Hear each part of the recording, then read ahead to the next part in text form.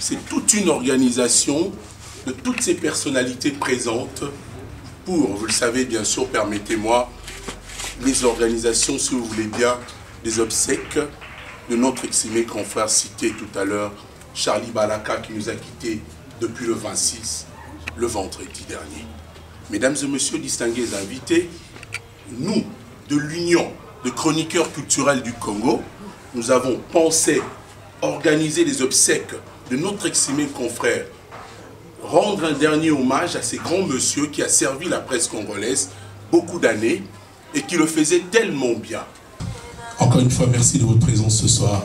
Nous allons passer au jeu de questions-réponses. D'abord, donnons la parole à nos représentants pour parler, vous expliquer, et ensuite on aura le temps de prendre aussi certaines questions pour organiser ces obsèques de Charlie Balaka.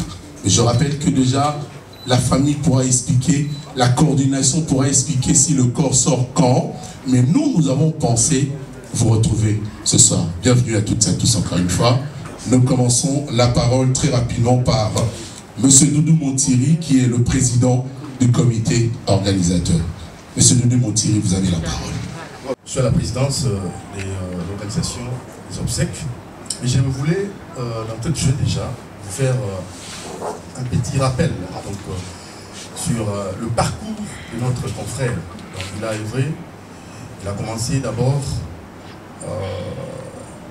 à exercer comme ça le rôle de porte-parole avec les artistes, plusieurs artistes musiciens, mais on commence d'abord par les tout premiers.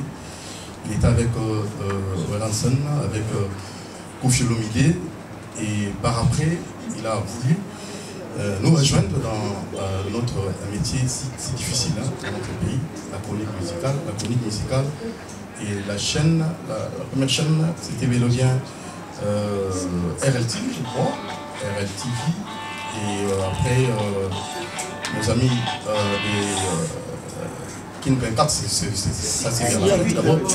Mercure, Mercure Télévision, Cien TV avec Odelux, euh, euh, Télévision, RL TV, et s'en suivra Kin 24. Voilà, alors euh, il a aussi organisé cette initiative louable, la remise des trophées, qui a pu comme ça réunir le 2 RIB Congo-Kinshasa, Congo-Brazzaville est des capitales les plus du monde.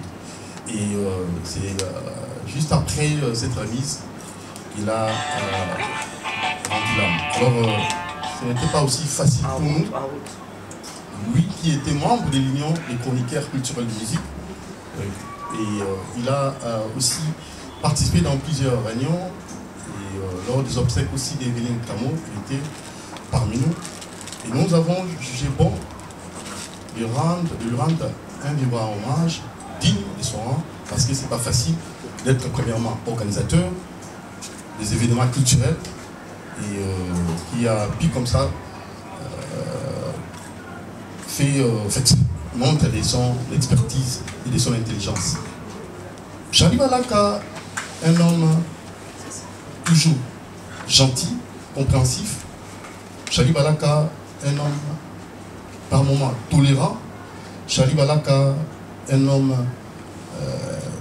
très très ouvert et euh, il était toujours prêt à faire euh, des choses peut-être impossibles, compliquées, mais il avait toujours cette détermination d'atteindre l'objectif, pour atteindre l'objectif. Alors c'est la raison pour laquelle nous avons voulu organiser cette rencontre avec vous, la presse, premièrement pour que vous ayez les programmes, les obsèques de notre confrère.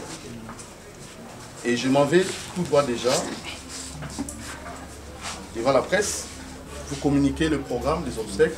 Mais avant qu'on y arrive, je vais d'abord passer euh, la parole à celui qui était chargé des en fait, l'organisateur des, en fait, l'homme événementiel, donc euh, notre très cher euh, Armand Bouka, il était superviseur, euh, il est superviseur l'organisation des obsèques.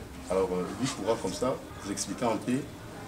Et par après, euh, ensuite, en fait, il y aura le membre de la famille qui va aussi intervenir pour vous donner quelques explications. Alors, on a pris l'initiative de faire une petite réunion au sein de la famille. Et là, on a levé quelques options en termes d'organisation. Et à la fin, j'étais dans l'obligation, il y a qu'à faire part Ndeko Doudou Montiri et puis euh, Ndeko Arma, pourquoi pas Ndeko Gabana et les autres. Et ensemble, on a essayé d'harmoniser. Et le programme Oezouamaki à niveau de la famille, c'était juste que le dimanche, Korébima. Mais, Bandeko, au nom de la corporation, non, maître. Comment bokoki koluka Charlie Kenemba ou Nasser Mabele Charlie, bien que Azalaiki Balaka, mais il est plus, il est au-delà de la famille Moko Katinabiso. Voilà pourquoi, Biso Nakata structure Nabiso, il faut il y a quand même une organisation qui est Charlie Balaka. Charlie Balaka, c'est mon frère. C'est mon aîné. C'est-à-dire, je suis juste après lui. Charlie Balaka est né un certain 15 avril 1972 alors que moi, je suis né le 2 février 1974, c'est-à-dire deux ans après. Azali Tangwasi, ici comme la libellé, je l'ai remplacé. Et la façon dont on a Charlie, on était plus amis que frères. Je garde beaucoup de souvenirs pour Charlie. Programme Yakor ya ndeko na biso charlie balaka ekobima vendredi le 10 autour ya 11 heures en attendant na question ya ndeko na biso nadege charlie balaka nzoto na ye eza na morgue mabanga.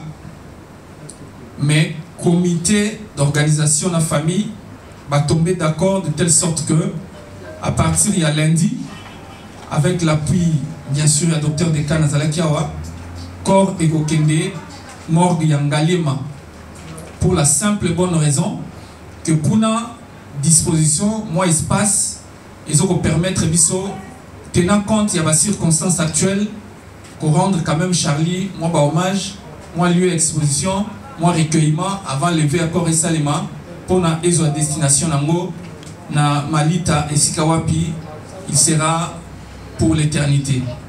Alors cimetière, aux famille et poni en dernière minute, Ezali, chemin du paradis. Ezana Mitendi, avant au revoir Kinshasa. Donc euh, voilà un peu pour de cette comité. Moi je pense que chacun de nous a érigé quelque chose venant de, de Charlie Balaka. Je pense que moi, personnellement, je dirais que Charlie Balaka, en bon souvenir, je pourrais dire, c'est quelqu'un qui savait euh, sourire au moment où, il, moment où il, allait, être, euh, j'allais dire, euh, au moment où il, allait euh, sourire. Je pense que quelqu'un, s'il a un problème avec euh, un de ses amis, il savait comment le gérer. Je n'ai jamais vu Charlie Balaka en train de se promener pour un sujet euh, dérangeant. Je pense que dans notre corporation, je n'ai jamais entendu ça, personnellement. Alors, je, dis, je, je dirais aujourd'hui que